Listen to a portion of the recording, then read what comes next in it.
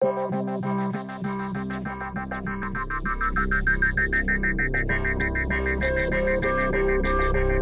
was an open innovation project with Renault and the, the main goal of the project was to deliver new user experiences with uh, autonomous driving, hyperconnectivity and new ways of communicating with the car and with the external of the car.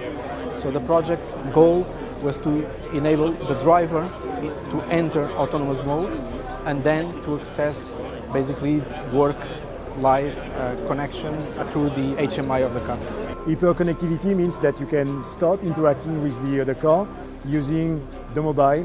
While I'm traveling to this car, I can interact with my car using this uh, application, okay, to enable me to precondition the car. So the moment I am entering within the car, the uh, temperature is set properly. I can also choose the right radio and finally, I can already choose the journey I'm going to, to start with the car. The moment I am entering within the car, my car is ready to navigate. I have already performed all the actions I, I was needing. Hyperconnectivity is then coupled to the delegation mode. So it means that with Next2, I'm driving when I want.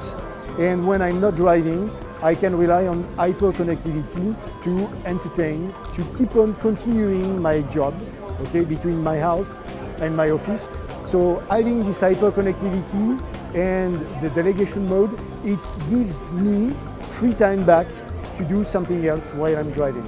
My mobile, which is my life, is going to be part of the, the HMI of the car because I spend so many time in downloading the, my preferred apps that I want in fact to be able to reuse them within the car without spending the same time within my car.